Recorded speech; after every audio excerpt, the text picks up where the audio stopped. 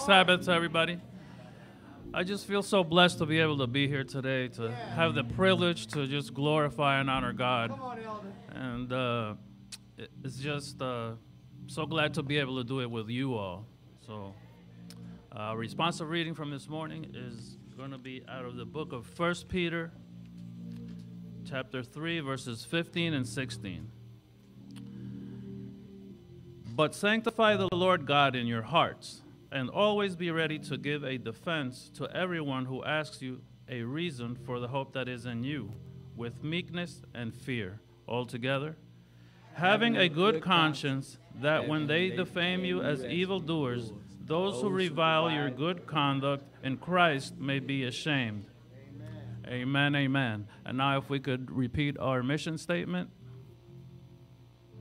and grace as we share God's love, one neighbor, one friend, one relative at a time, until God's character is reproduced in us and everyone we meet.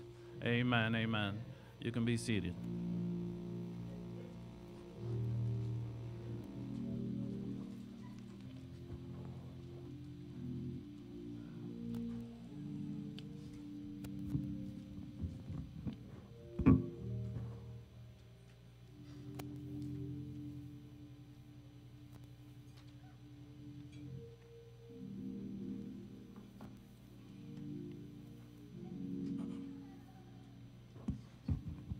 Happy Sabbath, church. Happy Sabbath. Isn't it a blessing to be in the house of the Lord?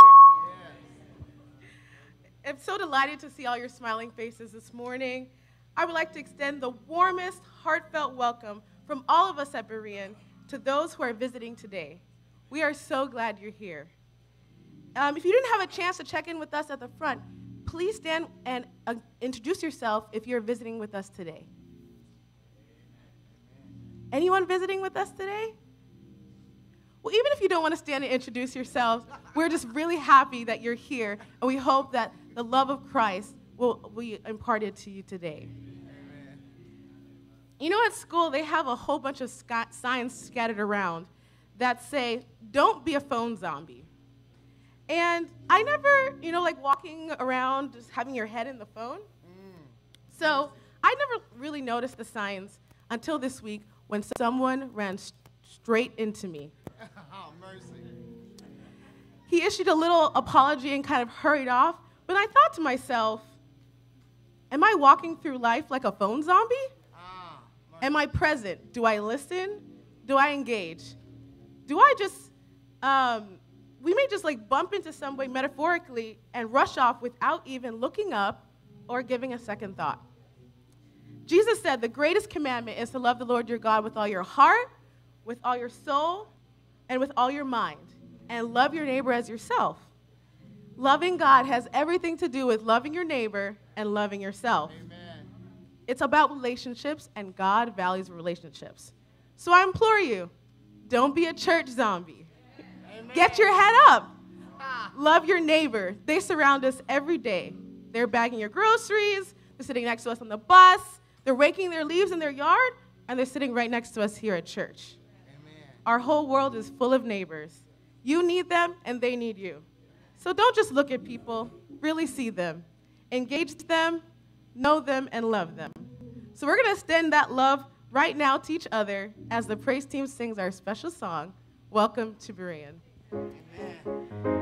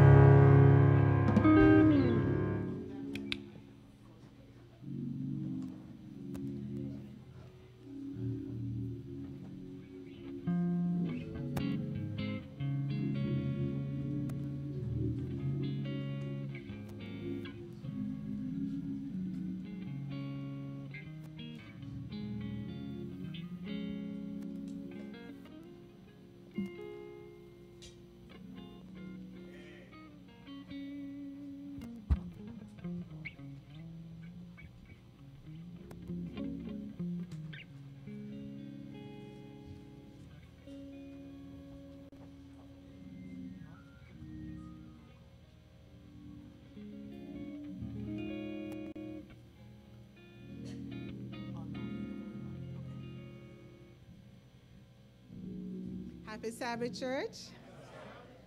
Um, this is announcement time. It says all heads of department needs to turn in their budget for 2019. And we have a Hall of Famer in the house. Amen. We have a Hall of Famer in the house, people. Okay. Our Hall of Famer. Stand up, Hall of Famer. Oh, yes, you are. That's our own oh, Hall of Famer in the house, people. Congratulations, Elder Hawkins. Our church board meeting, September 23rd, 1.30 to 2.30, and the business meeting follows. So the business meeting is from 2.30 to 3.30, and all, all are asked to attend, okay? And then we have, you know, Berean is a busy church, right? Okay, so inside the bulletin, there are two inserts. Two of them. Beautifully, beautifully done. Do I have to tell you what it is? No. Okay, I'm going to give you the dates. The picnic is September 30th from 1 to 6. And last week we asked the Sabbath School Council to stand, so we're not going to do that this week. And then we have the church picnic, and that's on, actually, the picnic is on the 27th, the 30th, and the, the Friends and Family Day is on the 6th. Oh, I just love this. Isn't that beautiful? yes. And then our next announcement is OU Live. You all know what that is. And that's going to be October 3 to 7th. Registration is now open. Faith and Finance Workshop. And that's going to be when? Okay, and all are asked to come. I want to, I want to be rich. I want to be rich. I don't want to be a millionaire. I really don't.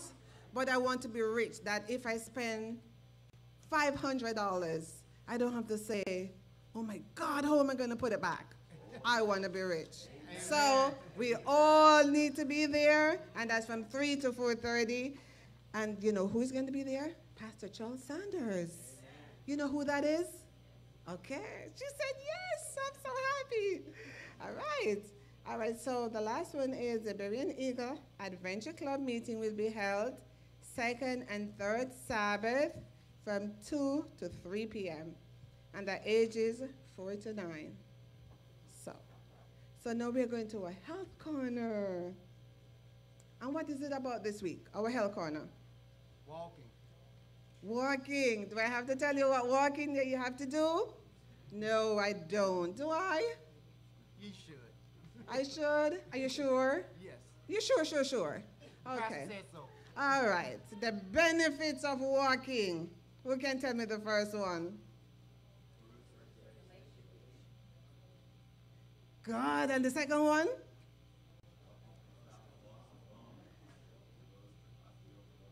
Okay, so and I'm going to read the third one because I want this. Walking leads to what? Longer life, of course. Who doesn't want to live to 120? I do.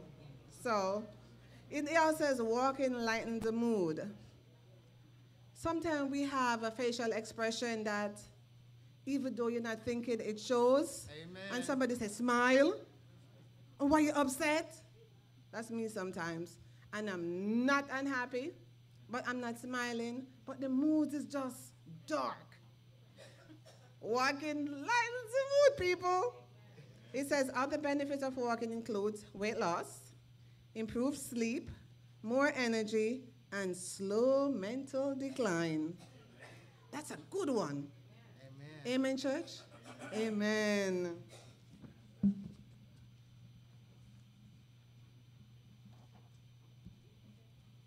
Good morning, church. Uh, who can guess what I'm up here to talk about? Yes. So, as I promised last week, uh, we've made pledge cards.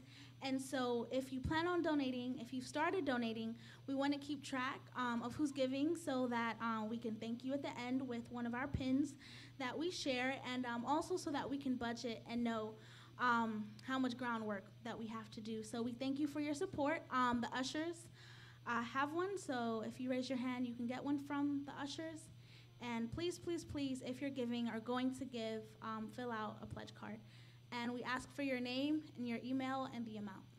And thank you and have a blessed Sabbath.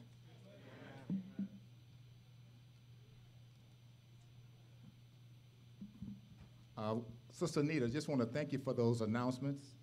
Um, as she shared with you faith and finance coming up this coming Sabbath, but I want to share with you from the, what the Word of God says concerning uh, what we're going to talk about uh, this com- upcoming week. It says, according to uh, Mark chapter 12, verses 41 through 44, it says, He sat down opposite the treasury and observed how the crowd put money into the treasury. Many rich people put in large sums. A poor widow also came and put in two small coins with a few cents. Calling his disciples to himself, he said to them, Amen, I say to you, this poor widow put in more than all the other contributors to the treasury, for they had contributed from their surplus wealth. But she, from her poverty, has contributed all she had, her whole livelihood. So if you want to find out how to be successful in life, I'm asking, I'm pledging, I'm pleading, sorry, that you uh, be a part of this and let this be a part of you. Because my takeaway from what I just read is faith that is not tested is faith rejected. Because the word of God says, without faith is in, it is impossible to please him. Two things I've learned as a student of the Bible. Jesus put a lot of emphasis on faith and finances. So as a man thinking in his heart, so is he. Faith that is not tested is faith rejected. Amen.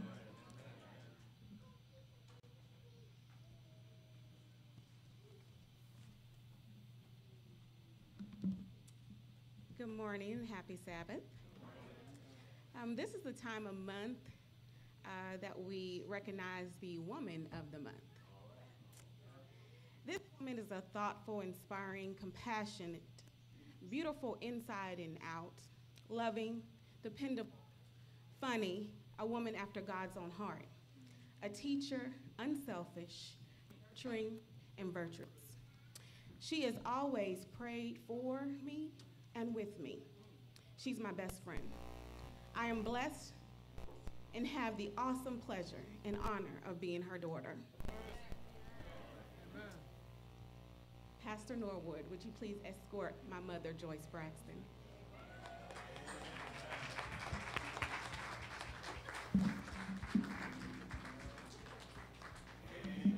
Never get an opportunity to surprise her because we talk every day. We were just together yesterday. So it's very hard to keep this from her. So she is really surprised.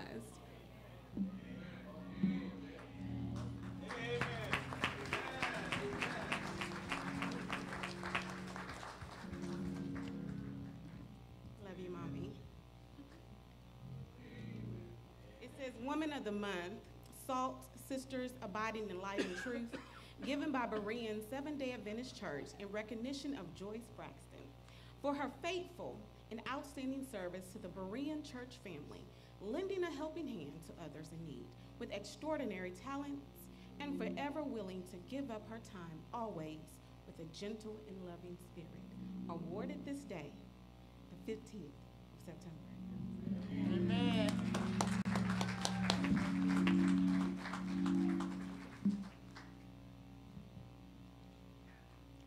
know I'm a crybaby. But I was wondering, I mm. said, she's here this morning, but then she loves her father-in-law, Greg. So I said, well, they'll do family time. Still, I didn't understand, or when I said, we'll be together later on. Thank you, church, for thinking of me, and it is what an awesome honor to be able to represent you. Happy Sabbath. Praise God. Praise God. Amen. I have this morning the distinct privilege, and honor to introduce to you the editor of Message Magazine. Amen. She came to Berean to say hi to Berean at this time. Sister Carmela Monk Crawford, please come in your own way and introduce yourself to Berean. Amen.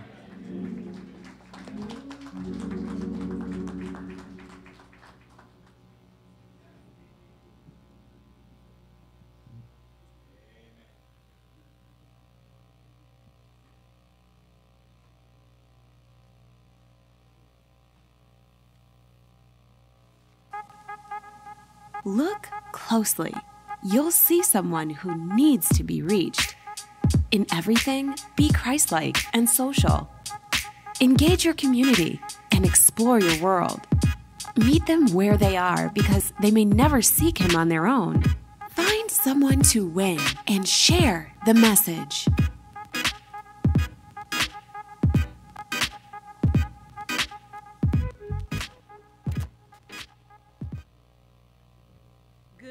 Morning, church family. Berean, Houston, Texas. You know, I think my heart's a little full this morning. I'm a little bit. Because you know how it is, you know, you know, you try to put your little remarks together, but then you walk into a church like this, you guys seem pretty nice and friendly. Is that the way it usually is around here? Are you really? That does my heart warm. There are many churches that you can walk into and it's cold. But this was warm this morning and you all messed me up. You know, how can you walk around and talk about we must be friendly and we must be loving, and you all are loving and friendly? I don't have anything to say this morning. I'm just gonna, you know, I'm gonna walk away. It's wonderful when you can come into a city that you don't know and walk into that city up on a group of believers, right? And then a group of worshipers. Amen. And you're feeling like, hey, we are all in here and we are praising the Lord and we're lifting him up and we're one team and one family. I look outside on your uh, your marquee and you've got the food pantry advertised. Praise God, you're doing the work. You are doing the work, and I'm just here. Like I said, you messed me up. I, you know, I'd like to go and talk about how we have to be warm and free, but you're already there. So let me just uh, encourage you in the way this morning. Message, make I bring you greetings from the North American Division of Seventh Day Adventists, number one in Columbia, Maryland. I bring you greetings from the Religious Liberty PARL Conference, or they call it PARL, Public Affairs Religious Liberty Conference, that's happening downtown here in Houston this week. And I bring you greetings from the one and only, the original Message Magazine. 120 years God has blessed this magazine. Now, you know it's a blessing when there's a magazine that's been around that long. Do you know what I'm saying? Everybody, well, so many people have gone to an app and you're working on your mobile phone and everything like this, but God has, and it, God has allowed us to expand into different uh, platforms and different technologies, if you will. But I'm to tell you one thing the magazine still works too. Amen. Do you know why? Because the Holy Spirit is working. And that's why the love is so important. Message is part of your evangelism portfolio, if you will. Each one of us has a job to do around the people or in and around the, the sphere of influence that we have. So once again, when you call me to come here, and I'm looking at your your mission statement, one person at a time. That's how the battle is won. Have you ever watched a movie? You know, James Bond, whatever it is, he's got all the toys. He's got all the tricks, airplanes, cars, cool things that pop out of his, his hat and his shoes and his, and his watch. But the final climactic scene happens when all the tricks are gone. All of the toys are gone, and it's one on one, hand to hand combat. Is that right? That's how it works the same way spiritually. It's one to one. My love to you touching you, touching my friends, touching my family, letting them know the invitation. You know, it wasn't until I started working, you know, I, I grew up as a Seventh day Adventist. I grew up in the church. I've known the Lord since my, my mother used to read my Sabbath school lesson from the time I was in cradle roll. Y'all, anybody else like that? You knew that remember how we used to stand up and do your 13 verses at the you know once a quarter right I grew up in the church, but I'm going to tell you the beauty and the reinvigoration that comes with sharing what you got with somebody who needs it. It wasn't until I sat, I was a, a, a I used to work as a public defender, not a public pretender, a public pre- defender, okay? You go in, but then to walk in, little me, little old me, walk into a jail cell with someone who's there desperate, away from their friends and family, facing charges in an uncertain future, and to just to be able to sit there and hold out my hand, especially to the young people, the juveniles, crying. You know, you tough and you bad, but when they take you and they lock you up, it's mommy, please don't leave me here.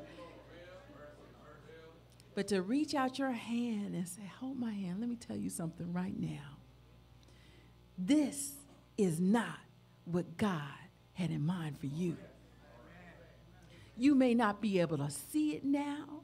There's drama all around you, and this, what you're going through, does not define you.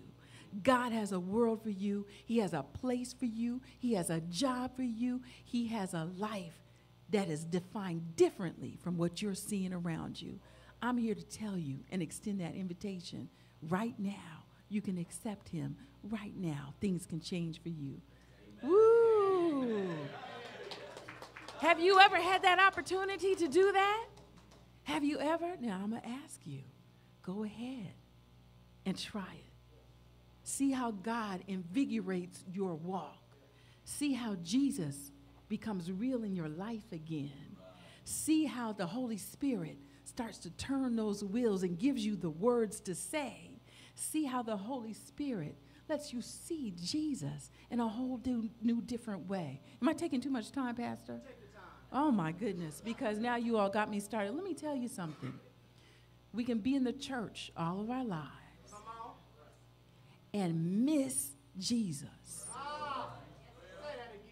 We can miss the life transforming experience of knowing Him, knowing that He loves us and that we can love him and be with him forever. I think about John, his disciple, one of his three boys, right? I mean, one of his friends, right? It was James, Peter, and John, but John always knew, I'm the, uh, you know, without saying it, the Bible, you know, without saying I'm the favorite. How many times did John say, the one that Jesus loved? John, the one that Jesus loved. Am I right? Doesn't he say that? He writes that in the text. Even though, you know, how did, how did they let, how did God let that happen all these thousands of years? He writes it in the text. John, the one that Jesus loves. That's because John is confident in Jesus' love for him, right? You remember that scene there at the Last Supper, and everybody's around. Is it me, Lord? Is it me? Somebody's going to betray you whatever. John's relaxing on the breast of his best friend. I know it's not me. Who is it? Jesus, right? That's what he says in there. The one in John, Jesus said to the one he loved, John. Then you can think about the, crucifixion, and Jesus is hanging there, right? And John records that Jesus looked at the one he loved, me, John, take care of my mother. Didn't he write that? He wrote that in the text. Then Jesus rises again and he's walking. And remember that last whole scene where Jesus reinstates Peter? And John is trying to tell the story about Jesus and Peter, right? But he inserts Peter, look back at the one Jesus loved, John, right? John was confident. Can you imagine him there on the Isle of Patmos, forsaken by all, persecuted? They wanted to leave him for dead, but the Lord wouldn't let him be destroyed. Receiving the revelation, and in that revelation, he sees walking through the candlesticks and the mist. He can barely see who it is, but as the mist draws away and the smoke from the incense and the candles ebb away, he watches and he looks, and clear before his eyes, he discerns the one who loves me and the one I love is Jesus. You got to see him as the one who loves you. I'm not here to make a commercial as much as I'm here just to encourage you. What the world needs is what you have right here. Do you know that there is an epidemic of loneliness out there? Do you have a spare handshake or a spare hug? Can you spare that with someone else? Do you know that people are dying and sick because no one has loved on them, has validated them? Do you know that? That people, especially men, heart disease, gastrointestinal disease, cardiovascular disease, respiratory disease, digestive problems, all are increased because people are lonely today. We can fix that. That doesn't take strategy. That doesn't take money. That takes a handshake, a smile, and some kindness. So, what am I trying to say? You guys get lots and lots of magazines and material, right? All right. You know the difference between this and this, right? This is for us, right? It tells what's happening in ministries and different churches and who's doing what to further the cause of God. This is about the ministry. Message is the ministry. Do you get it?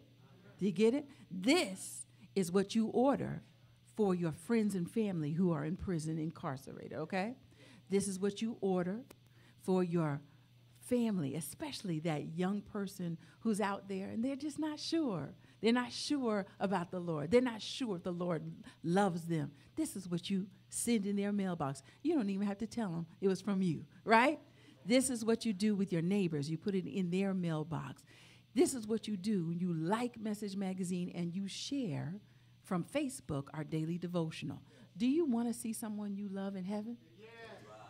I'm just encouraging you to share the message. Last thing I will say today if you didn't come prepared to do it today, I'm going to ask you to go onto messagemagazine.com, subscribe.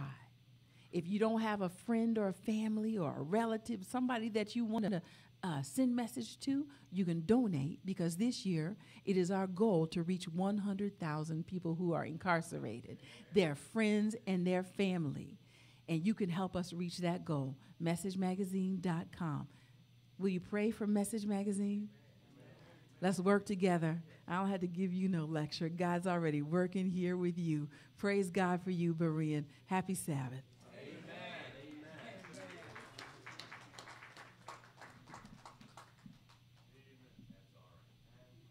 Amen. Amen.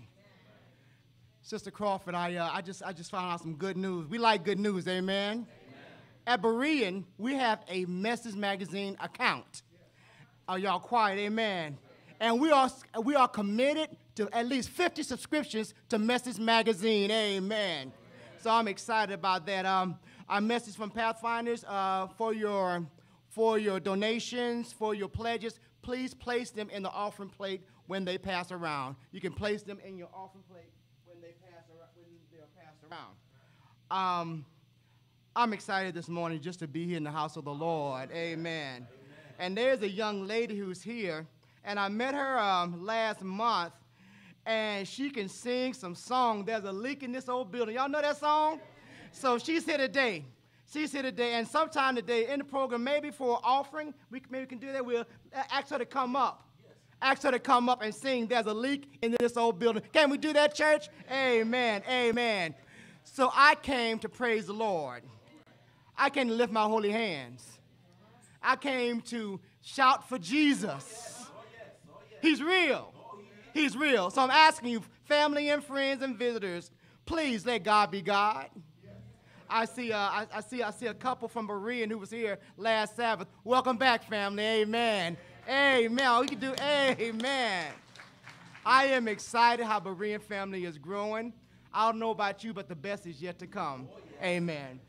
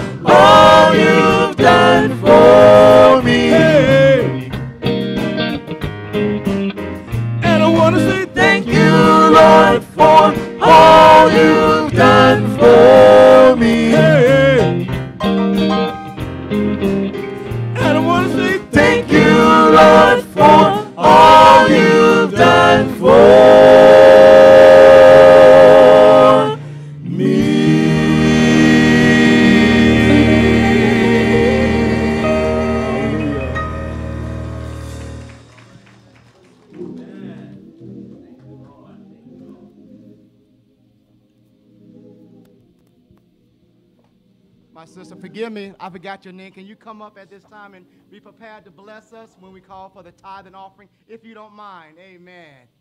Amen. Elder Smith. Good morning again, church. um, as I was thinking of uh, tithe and offering, I thought of our Pathfinder theme for this year and going forward. And, excuse me, our theme is chosen. so I began to ask myself, what does it mean to be chosen by God? And who gets to be chosen by God? And the character that we have for our Pathfinders is David. And um, David, as a young boy, he made a stand for God.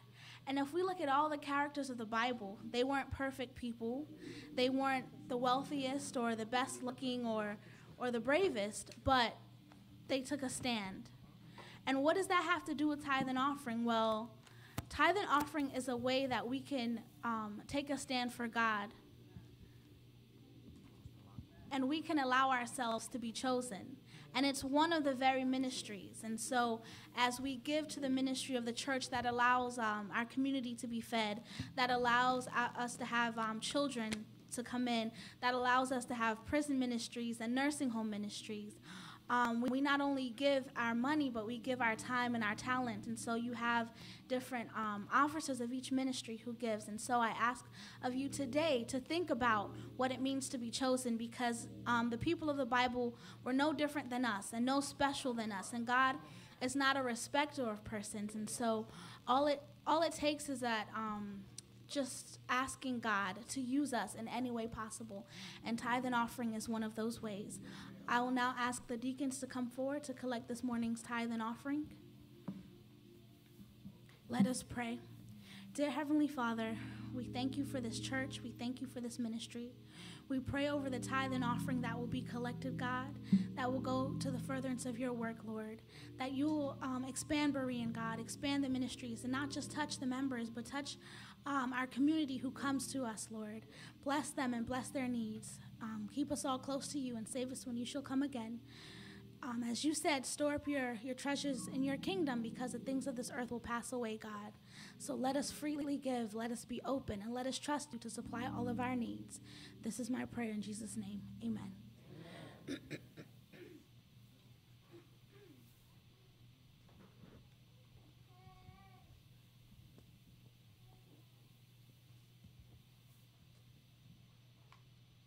There's a leak in this old building, and my soul has got to move. Whoa, my soul has got to move. My soul has got to move. I found a leak. Y'all can help me. This old building, and my soul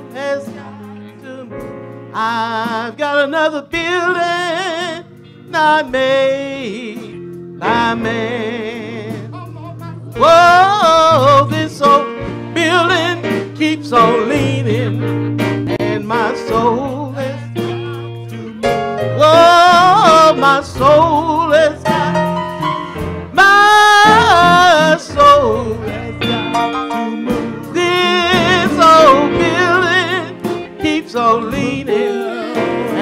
my soul. Oh, I've got a building not made by man.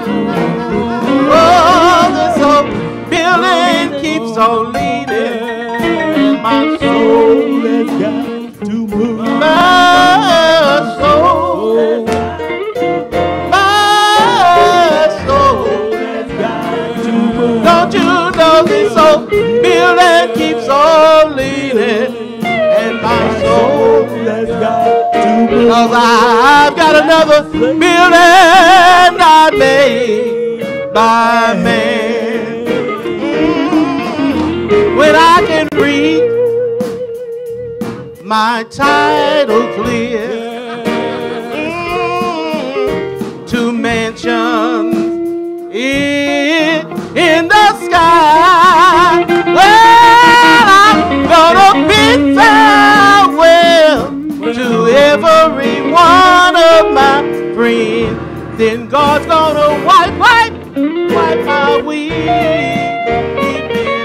Well, these old footsteps are getting slower, y'all. And my soul, yes, sir, yes, sir. Don't you know that my soul has got to move? My soul has got to move. Well, footsteps are getting slower, y'all. And my soul has got to move. I've got a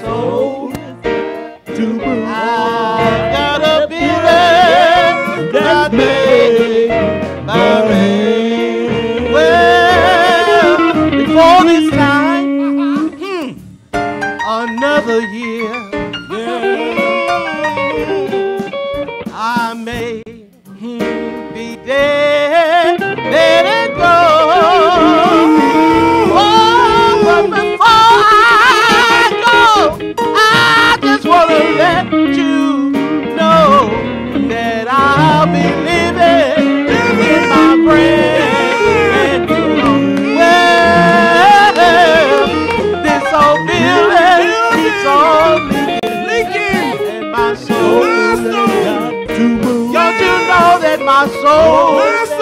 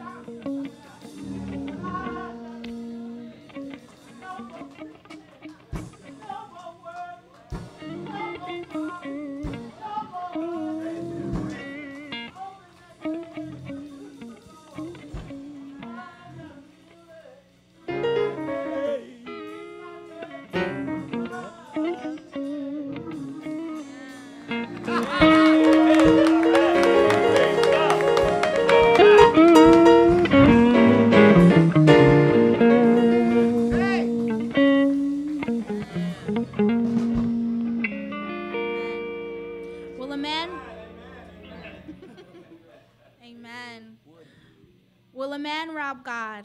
Yet ye have robbed me. But you say, Wherein have we robbed thee? In tithes and offerings. You are cursed with a curse, for you have robbed me, even this whole nation. Please rise. Bring ye all the tithes into the storehouse, that there may be meat in mine house, and prove me now herewith, saith the Lord of hosts. If I will not open you the windows of heaven and pour you out a blessing, that there shall not be room enough to receive it. And I will rebuke the devourer for your sakes, and he shall not destroy the fruits of your ground.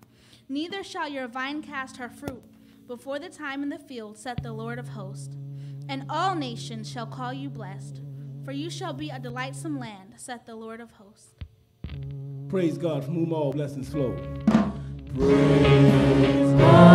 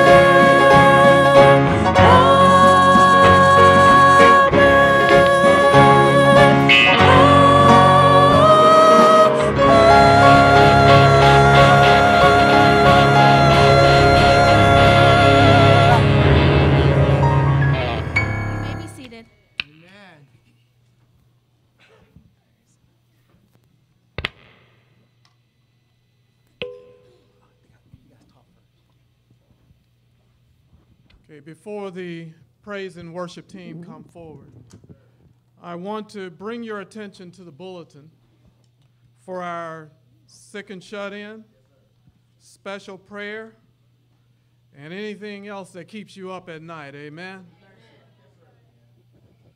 I would like for each one to keep the Walker and Sterling family in prayer. Um, there are others that have lost loved ones this year, including my mom, who lost her brother, uh, two brothers, less, a brother and a sister less than 30 days apart from each other. So keep everybody in the Berean orbit in prayer as our praise and worship leaders come to us this morning. Before we begin, we just want to ask the congregation to remember this is Community Service Day, so you may need to press in a little bit so our, our, our, our guests can have a place to sit and they don't have to be walking over you, amen?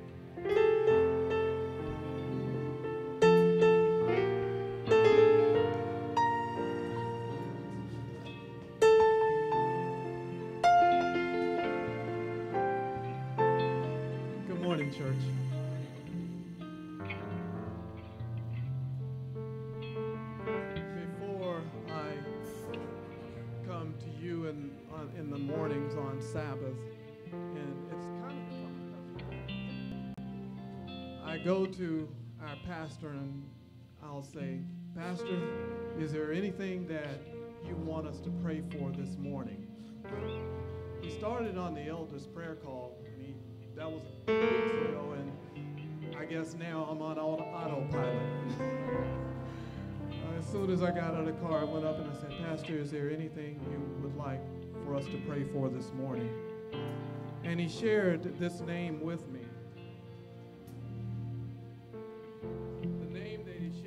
Zante Wallace. Now, some of us may or may not know who Zante Wallace is, but I believe the Walkers know.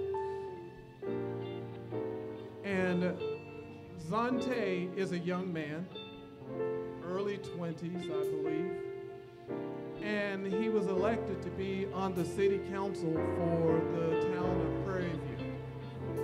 Amen. And we're praying for Zante. He's a young man trying to do great things. You see, the wonderful thing, God doesn't ask us to do great things. He only asks us to do small things great.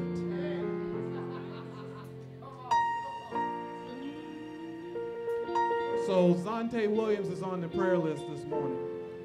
He's also asked me to put the CJC Council and Religious Liberty Conference on their prayer list this morning because every day, right before our eyes, we see our religious liberties being snatched from us, even without a whimper. We don't know what happens when you make America great again. Message Magazine, I threw that in there, Sister. Say that, but I'm throwing that in there for you and your staff and all of the church publications of the Seventh day Adventist Church. They all have an awesome role, and I appreciate everything that you're doing. Thing, what's keeping you up at night? What's keeping you up at night? Every one of us got something that wakes you up in the middle of the night. It may be more month than money. And may you maybe you look in the cupboards and the cupboards are bare. Maybe you need to go somewhere and you realize that the tank does not have enough gas to get you the 15 miles down the road that you need to go.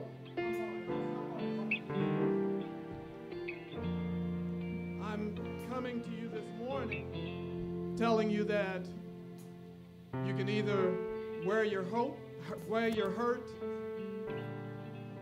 or you can wear your hope. You see, the contagiously calm person is the one who reminds others that God is still in control. You see, on Wednesday night, our pastor has opened up a new sermon, a message series, and I'm sure you're going to get tidbits of that today, but I'm saying especially if you need a midweek pick me up, get me out of my seat, send me down the road. Hey, there is armor here for you. You see, Pastor is sharing, don't leave home without it. Talking about the full armor of the God. Amen.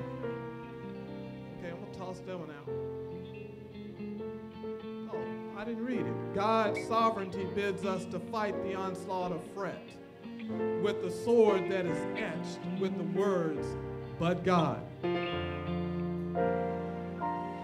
Peace happens when people pray. Last but not least, before you lash out, lash out in fear, look up in faith. It's prayer time. It's altar call time. It's prayer time. I'm going to say if you have something on your heart that you want to pray for, and if you have written out your prayer cards, because I realize that some of you aren't here on Wednesdays, you can drop them in the box. They're here just for you. There's prayer answered, then there are prayer requests. Amen. So at this time, I'm going to ask all of you, if you will, if you're interested or feel the need to come forward, now is your time. Thank you.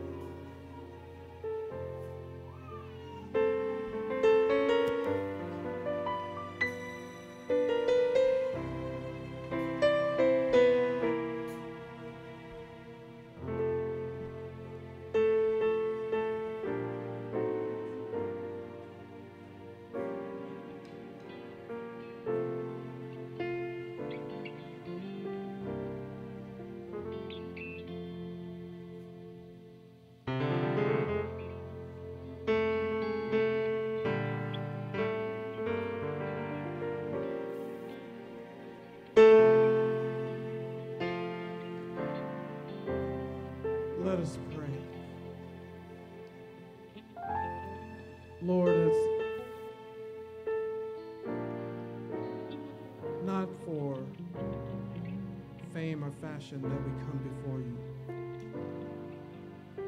But Lord, we come as empty vessels, pouring out ourselves, but waiting to be filled by you. This morning, dear Lord, uh, we're praying for Message Magazine and the mission that it has in front of it.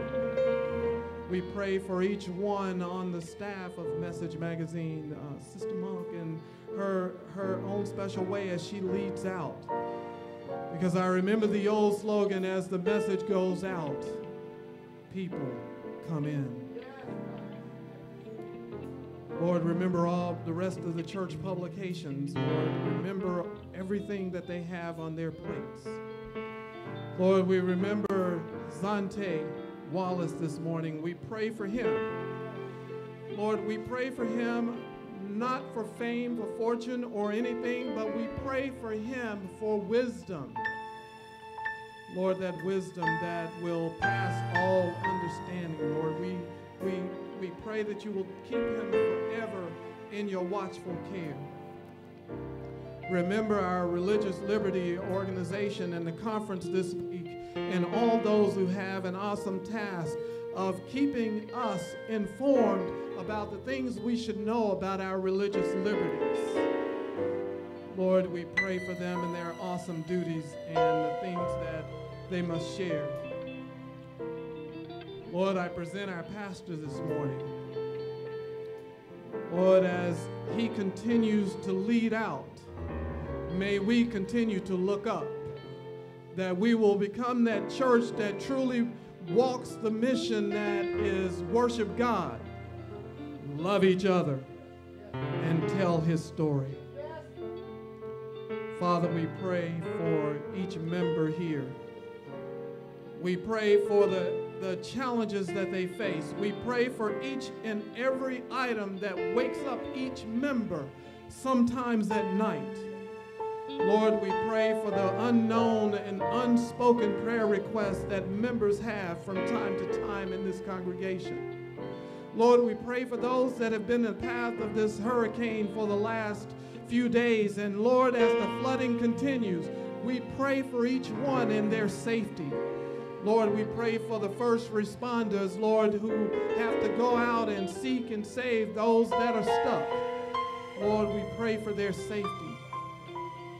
Lord, we pray for the Wilmington area in North Carolina and even those. We pray, Father, for your spirit to touch the elements and calm the waves in the sea. Lord, in this morning, as my feeble mind sometimes forget, we realize, Lord, you're a God that has never forgotten us. Neither have you ever forsaken us. We pray this prayer not because we're worthy, but we pray it through your loving Son, Jesus' name, and it is for his sake we say, Amen.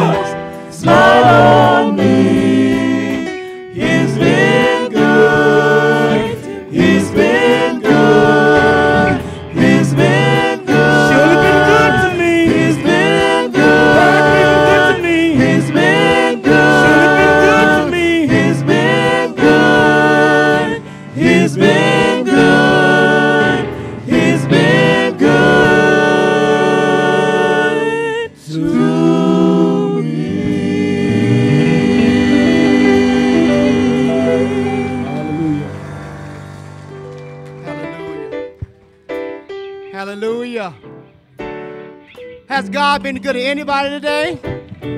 Did He wake you up this morning? Started you on your way? Gave you food when you're hungry? Shelter in the time of storm? God's been good to me. Oh, hallelujah, Jesus. Oh, hallelujah. It's so good to be in the house of the Lord this morning. Sister Crawford, I want to say I am humbled and blessed that you accepted the invitation to come to Little Old Berean. Amen. You know, in here in, in Berean, we believe in the transparent ministry. So let me be transparent. So many times in life, when God elevates us to certain positions, we forget where we came from. So, Sister Crawford, I thank you. You haven't forgot where you came from. amen, amen, amen. So, thank you again for coming today. Amen. So, if you will, go with me to the Word of God this morning. I won't keep you long. I, I think we had a sermon today. A sermon and song, a sermon from Message Magazine, but I have a word from the Lord today. Amen. Amen. First Peter 3 15 through 16. Uh, 1 Peter 3 15 through 16. But in your hearts, reveal Christ as Lord. And always, somebody say always, be ready to give a defense to everyone, someone say everyone, who ask you a reason for the hope that is in you. Well, with meekness and fear. Oh, hallelujah. I can preach this. But in your hearts, set apart Christ as Lord. Always, someone say always, be prepared to give an answer to everyone, someone say everyone, who ask you to give the reason for the hope that you have. But do this with gentleness and respect. Heavenly, most gracious Father, I come to you, Lord, asking you move Pastor Norwood out the way. Speak to your people today. Remind us that you are God and you are God alone. Remind us that we are on a commission to go through all the world telling them about the good news. So, God, have your way. Have your way. In the name of Jesus, Lord, is my prayer. Amen. In this life, you and I will be asked a lot of questions. Even before this day is over, somebody somewhere is going to ask somebody a question. Because questions are a part of life. Questions, my musicians, help people find out who you are, what you are about, your likes and your dislikes. They help you find what are your goals in life. Questions brings clarity to a situation. Here's the spoiler alert. Here's the spoiler alert. I wish I had some spoiler alert music, amen.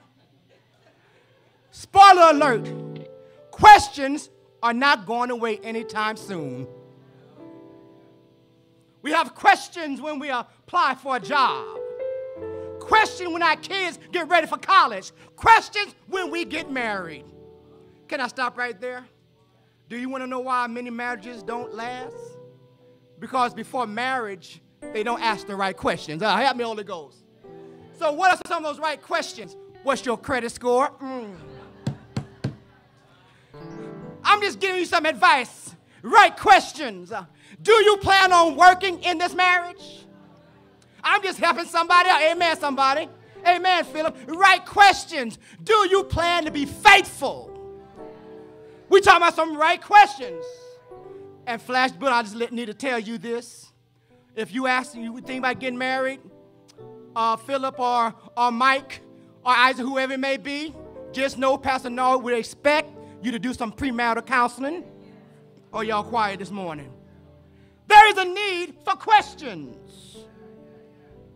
Questions a spouse may ask their other spouse, or a mother or a parent may ask their child. Here's some questions Where have you been? Who have you been with? What were you doing? Who were you doing it with? Help me, Holy Ghost. Because in this life, we will have a lot of questions. Some questions will be easy to answer, Elder Caesar, and some may be very hard to answer. And all these questions that will we, be, we will be confronted with in this lifetime, there is one question this morning that I got to deal with this morning. There's one question that the majority of people assembled in this divine place have to ask for themselves. They have to answer it for themselves. Ask me the question. What's the question? Amen. I will tell you, amen. Here's the question what will you say when someone puts you on the spot and asks you this question Why are you a seven day Adventist Christian? Y'all quiet. What will you say when someone at Walmart, someone at Kroger, someone at your school, faith, say, Why do you go to church on the Sabbath? You must understand, I can't answer this question for you, but I can answer it for myself.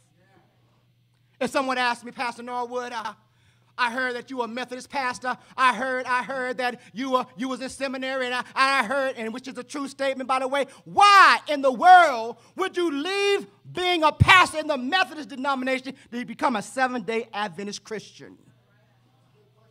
That's a good question. I'm glad you asked. Understand, when you answer this question, you're gonna have some haters. Can I tell you about my haters?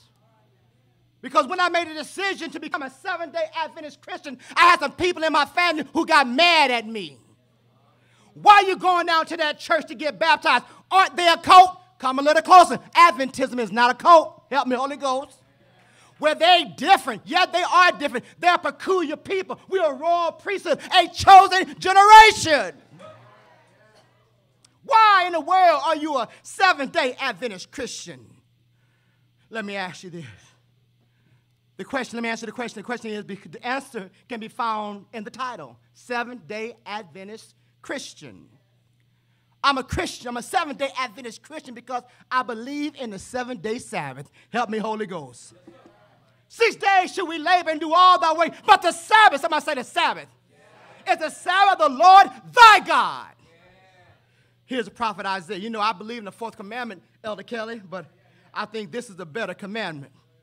Isaiah 58, 13 through 14. If you keep your feet from breaking the Sabbath and from doing your as you please on my holy day, if you call the Sabbath a delight and the Lord's holy day honorable, if you honor it by not doing your own way and doing as you please or speaking idle words, then you you, Sister Norwood, you, Elder Rose, you, family, will find the joy in the Lord. Amen. And God says this, and I will cause you to ride in triumph on the heights of the land huh? and feast in the inheritance of your father Jacob. For the, the mouth of the Lord has spoken it. I'm glad leaving on the screen. I like that. Watch this, watch this. See, we get caught up. We get caught up. We get caught up. Well, Pastor, I'm not working on the Sabbath. I'm good. Come a little closer, family. What kind of conversations are you having on the Sabbath? Are y'all quiet? Because see, when you honor the Sabbath, you got to watch what you say. Come a little closer, young people. You have six days to play your video games. Oh, y'all quiet. You have six days to talk about the NBA, the NFL. Oh, help me, Holy Ghost. You have six days, but this is God's holy day. Oh, y'all quiet. This is a sacred and I sacred day, and I truly believe some of us have gotten so comfortable now forgetting that this is God's holy day. So let me help your parents out. Well, Pastor Norwood, my child got ADHD, elementary, and they just don't want to keep still. And I get that. I get that. I get that. So let me help you out. I do not have a problem with electronic devices in the church. So let me help you out. If you got your child a cell phone, an iPad, here's what you can do. Once you put on that iPad or cell phone, the Superbook. How about Veggie Tales? Oh, y'all know Superbook is a religious cartoons. Amen. Y'all know what Superbook is. That help explain to our young people what creation is all about. So instead of allowing them mm, to play video games on God's holy Sabbath, want you give them some, something constructive. Amen. Because this is what's going to happen. When they get a little older, when they start talking back, Mm. They're going to say, Well, you let me do it when I was little. You can let me do it now. Help me, Holy Ghost. So I believe in the Sabbath, seventh day Sabbath, Advent. Do you do realize what Advent means? What does Advent mean, you great scholars? Come on, the what? Second coming. So on seventh day, I believe in the Sabbath. Advent, I believe in the second coming of Jesus Christ. Christian, I'm a Christian. Because watch this. You got Adventists who are not seven day Adventists. You got seven day who are not Adventists. And you got seven day Adventists who are not Christian. Help me, Holy Ghost. I am a seven day Adventist Christian. There's a difference. Mm. Watch this. Being a seven day Adventist Christian does not mean I'm better than you. And you're not better than me. Because the ground is level at the cross. Help me, Holy Ghost. It does not mean that because I'm a seven day Adventist Christian that I get an automatic pass to go to heaven. All have sinned. Somebody say all. all. Have sinned and fallen short of the glory of God. I'm a seven day Adventist Christians, number, Christian because number one, I love God. You got some people who love God in here? I love me some God. He's my provider. He's my waymaker. He's my healer. He's my shepherd. He woke me up this morning. I'm getting good all by myself. I love me some God. He is God all by himself. Aren't you glad that God don't need a board to make a decision in your life? Hey, you will be out by yourself. And because I love God, Sister Crawford, because I love God, I love people. I love me some people. I love you, Berean. I really, truly, I get excited. You someone somehow you energize abundant because I get excited. Hey, when I'm in the presence of God's people. Are y'all quiet? I may not always like what they do. Yeah. All the choices they make. But I have to love them. Well, how do you know that, Pastor? I'm glad you asked. 1 John 4 19 through 21. 1 John 4 19 through 21. We love because he first loved. Now, watch, can I break this down, Elder Kelly? He loved us when we was in our wretchedness. Hey. He loved us when we was in the club doing things we should not do. Ah, hey. Some of us are still in the club. Hey. He loved us before we loved him. Whoever claims to love God yet hates a brother or sister is a liar. Mercy. For whoever does not love their brother and sister whom they have seen cannot love God, whom they have not seen. And he has given us this commandment anyone who loves God must also love their brother and their sister. Can I, who, who's my brother? Who's my sister? Each and every one of you. Whether we're biological or not, you, we, are, we are in God's family. You are my sister. You are my brother. I'm your brother. Amen, somebody. I don't know where we get this concept from. Because you are darker hue, you can't be my brother or sister. Because you're a lighter hue, you are not my brother and sister. The devil is a liar. As long as in the family of God, you're my brother and my sister. Mm. I'm a seven day Adventist Christian because I want to be blessed. Hey! yes, I do. I'm not, I'm not, I'm being transparent. So, I know what some of you are saying. Can I, can I tell you, can I release the tension? Some of you are saying, Pastor, I know people who are not seven day Adventists. They're blessed. That's a good question. Amen. That's a good statement. Watch this. The rain falls on the just and the unjust. Hey! So since you asked the question that, that you since you've made the statement that you know people who are seven day Adventists who are not seven day Adventists and are blessed, let me ask you a question. Do you know where those blessings came from? And are those blessings only material things? Because the Bible says, what profits a man, hey, to gain the whole world and what? Lose his soul. Because you got some people working 60 hours a week and never see their family. You got some people doing some shady things, got a lot of money. Come on, Washington, D.C. Oh, help me, help me, Holy Ghost. We cannot determine a blessing by the material things that we see. Ah. So you can have worldly blessings, but God does not have a problem with. But the problem is, those worldly blessings have you.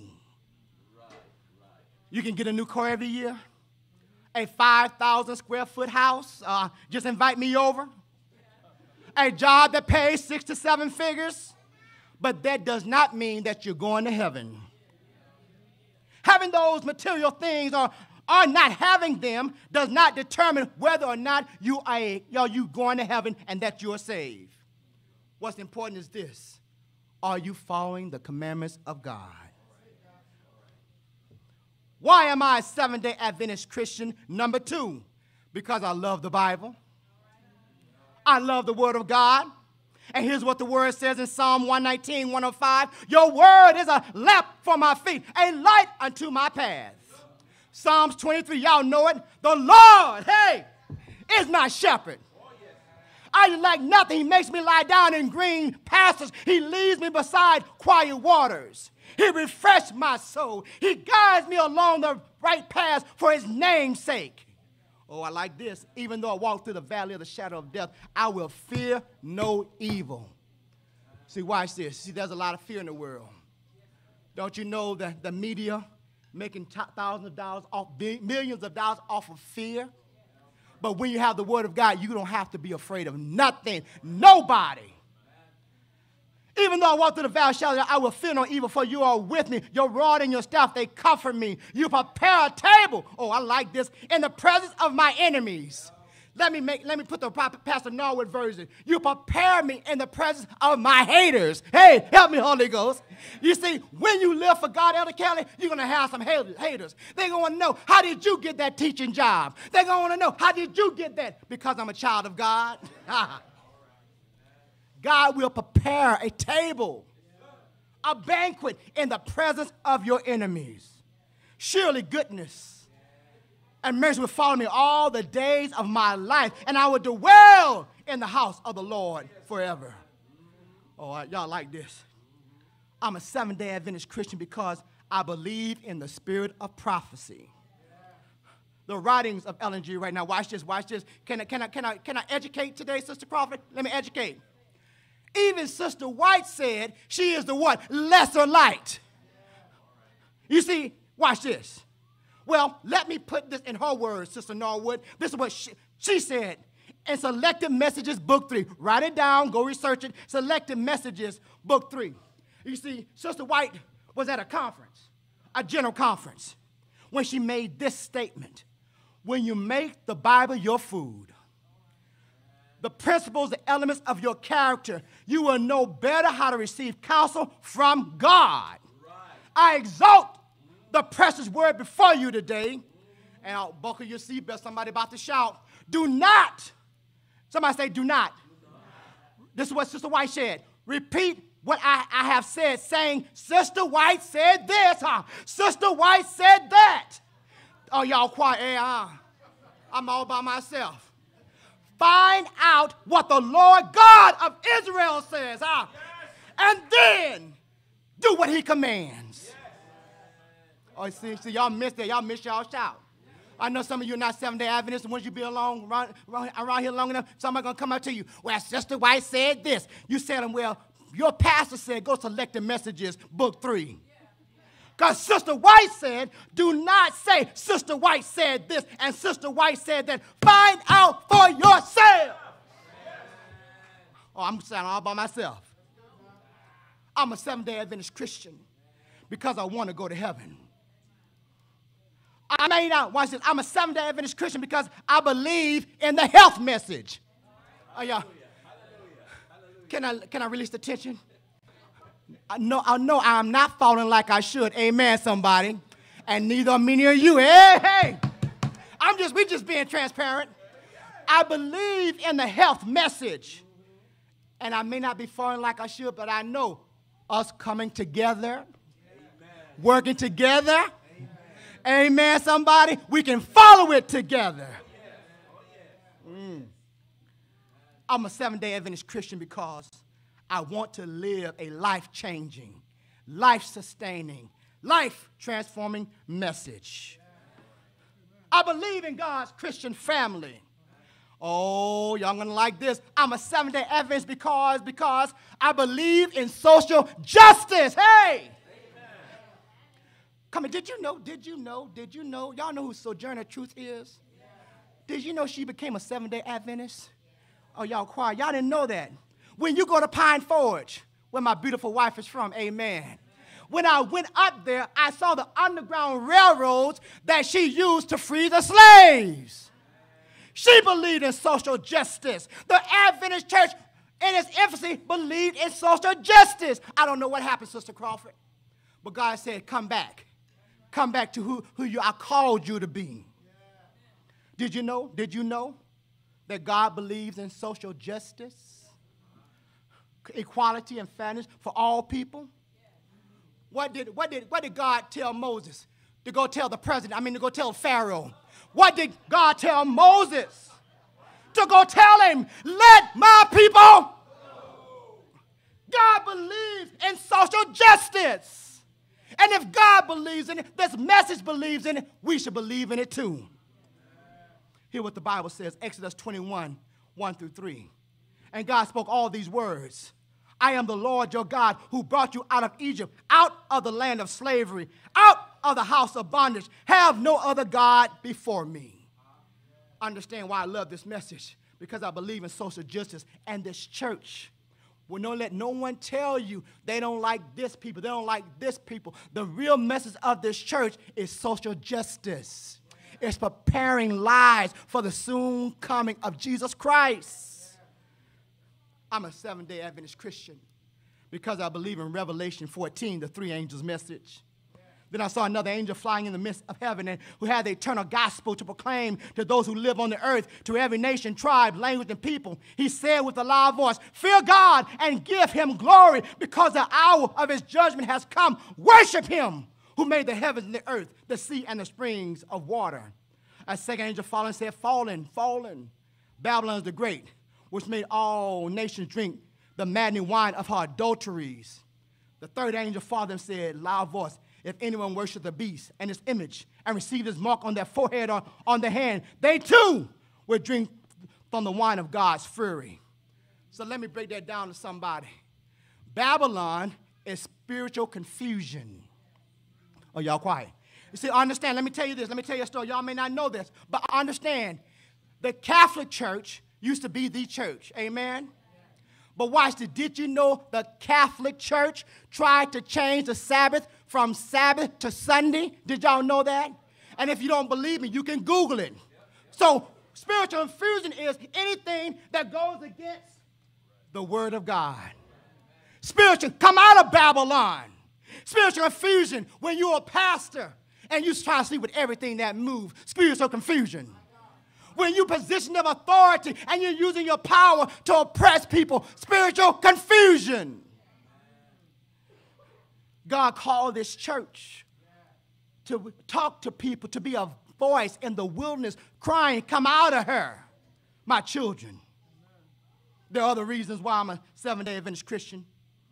I'm a seven day Adventist Christian because I believe in community service. Hey! This church the, the Adventist church believe in teaming with FEMA and other agencies to provide relief to the people of God. I believe in that. I believe in that, elder. I believe in community service. I believe in making a difference in our community. So we got to understand, you know, there, there, there, there's, a, there's, this, there's this thing where, you know, let's just give them a, a revelation seminar. I believe in a revelation seminar. I really do. I really do. Elder Kelly, don't put me out, don't write the conference. But what about the ministry of Jesus? Jesus touched people every day. Jesus healed them. He delivered them because the Bible said, I come to set the captive free. Now, I don't know about you, but I'm just telling you about Pastor Norwood. You can't tell me nothing about nobody if I'm hungry.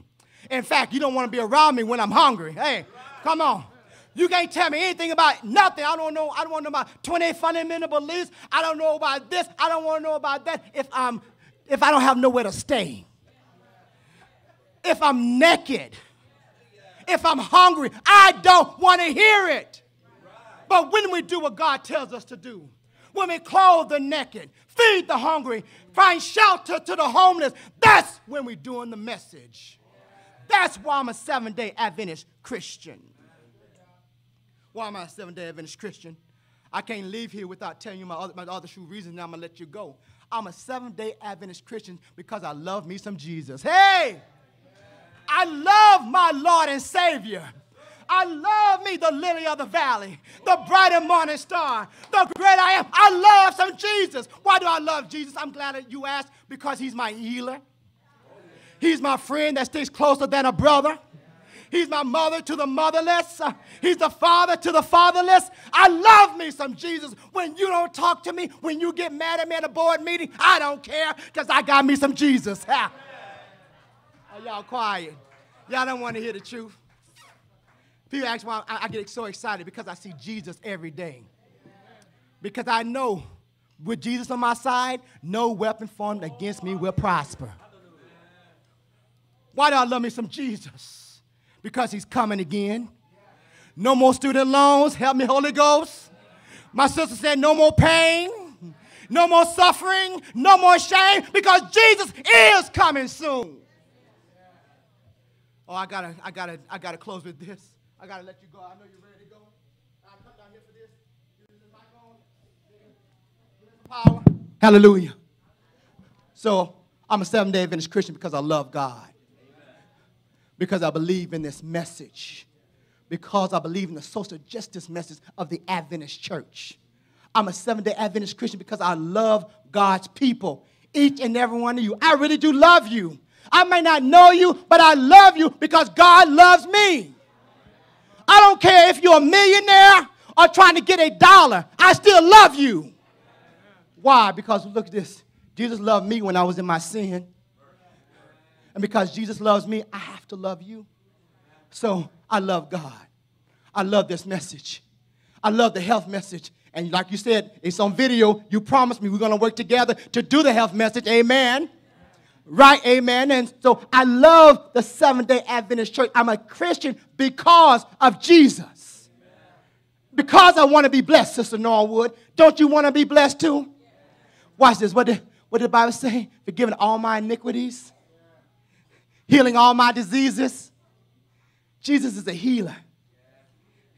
Jesus is a healer. He keeps you when you don't want to keep yourself. Why am I a seven day Adventist Christian? Because of all those things. But I can't forget about the one thing, Elder Kelly. I'm a seven day Adventist Christian because I believe in the power of the Holy Ghost. Hey, have you met the Ghost? I think somebody said that when I first got here in June 30th. Have you met the Holy Ghost? I'm a seven day Adventist Christian believer, liver, sustainer because of the Holy Spirit. Amen. And you should receive power. Holy Ghost power, sustaining power, transforming power, healing power. Didn't the Bible say, Greater things will you do? Didn't Jesus heal? Didn't Jesus comfort? So, what are you waiting for? We can't do any of things without the Holy Ghost. So, because, because the reason I'm a Seventh-day Adventist Christian, Barbara, is because I want those things and more. I believe those things. I believe this message. I believe in God. I do believe, family, that we are living in life last days. And we need some power. Things are worse right now. We're actually living in prophecy right now. Even as I preach, we're living in prophecy. So we need some power to go through the storm. I like what, do you know, you know that song, sister? There's a storm out on the ocean, and it's coming this way. And if your soul not anchored in Jesus, it will surely drift away. There's a storm on the ocean and it's coming this way. So we need a message where we can anchor in so we will not drift away. So I don't know what your reason is, but those are my reason why I'm a seven day Adventist Christian because I believe this message. And what God did for me, He can do for you too. If you're dealing with drugs, he can get rid of the drugs. Dealing with some kind of addiction, God can take care of it. Dealing with fear or depression, give it over to God. It's not by chance or by coincidence that you are here today listening to this message. God has a word for you. These are the reasons why I'm a seven day Adventist Christian. Here's the question to you Why are you a seven day Adventist Christian? And for those who are not today, my family, my friends, you may be asking the question What's all about? What is this all about to be a seven day Adventist Christian? All you got to do is join the church. Oh, y'all quiet. Amen. That was my feel. Amen. If you want a, a life, a better life, an abundant life, because the Bible says, I come to give you life, abundant life. If you want that abundant life, you can join the church today and find out how we, as a family of God, can come together, lift up our holy hands, and worship God in spirit and in truth. Oh, y'all quiet this morning. That's why I'm a seven day Adventist Christian.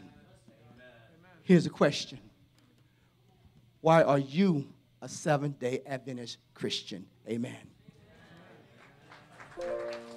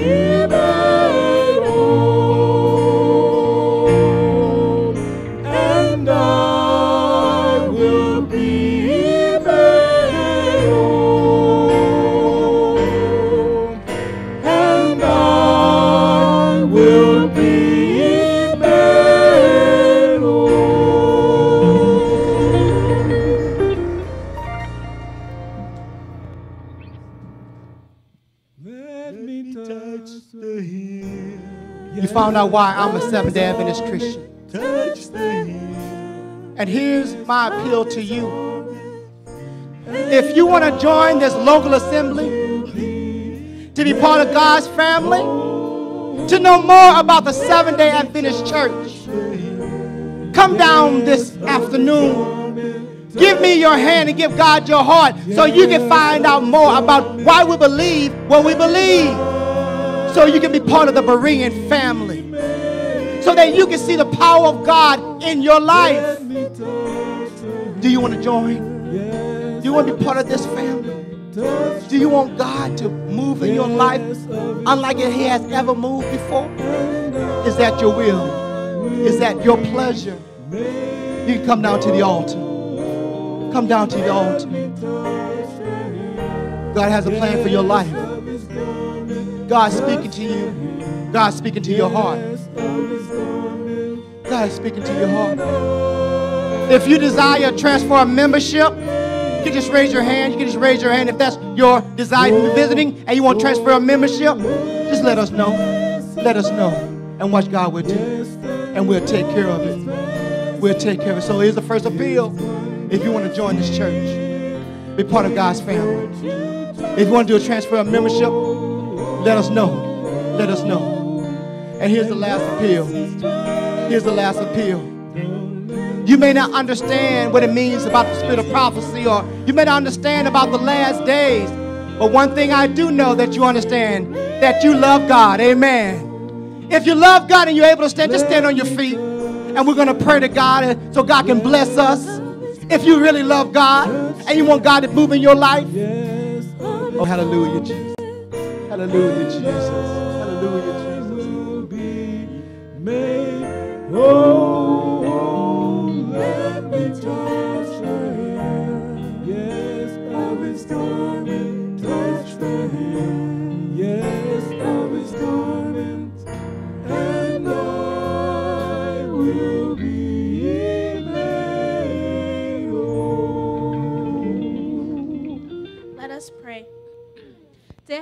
Father, we thank you for your word.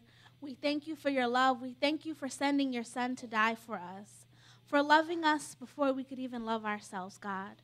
You know the hairs on our head, you know our very thoughts. We cannot run from you. We can hide from other people, we can pretend, God, but you see every ounce of us and you love every bit of us, even the imperfect pieces. So today I pray over this congregation, Lord. I pray over each and every one that is here, from the young baby to the oldest elder, God. We thank you for their life. We know that they have been put on this earth for a special purpose, God. Continue to reveal yourself to them, to provide for their needs. But more important than their physical needs, God, provide for their spiritual needs, Lord. Send your Holy Spirit to draw close to them and manifest yourself in their lives. We trust you, God. Our hope is built on you. This world is uncertain, God. The things are passing away. People are dying. Um, people are getting sick. People have all kind of issues. But you are not blind to these issues. You are not deaf to these issues. But you are a God more powerful than these issues. So today we seek that power, Lord. We seek the power over all forces, all principalities and powers, all confusion, God. We seek your truth and we seek your light.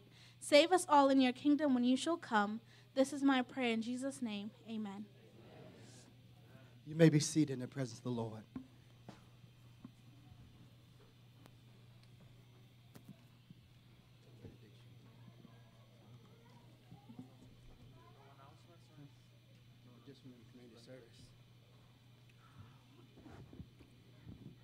Everybody here blessed? Well, I hope you're at least about a quarter of an inch as blessed as I feel because that was a very powerful sermon. Pastor, thank you so much. Thank you. So let us bow our heads for a closing prayer. Dear Heavenly Father, Lord, again I thank you for the Sabbath day. Thank you for this Church of Berean, Lord. I thank you for the freedom that we have here in this country, Lord, that we may congregate and worship you without any fear of persecution or, or of any kind, Lord. Thank you for this privilege that we have here. Heavenly Father, I thank you for, for Pastor Norwood, how you use him to deliver your word, and in so many other ways as he leads this church. Father God, I lift him in prayer to you that you may continue to give him your anointing, Lord, that you may continue to use him. Bless him, bless his family, Lord. I pray for a blessing upon this church, this congregation, Lord, and as we leave this place, let us never depart from your presence. On the contrary, Lord, let us always have our eyes fixed on you and only on you, Lord, that the things we do in our lives may be according to your will and just to represent you, Father God, that we may be able to touch others, that you may be able to use us in such a purpose, Father God. So thank you again, Lord, for all your blessings, for all your mercies, for being such a wonderful and loving Father. It is in your holiest of names that I pray. Amen.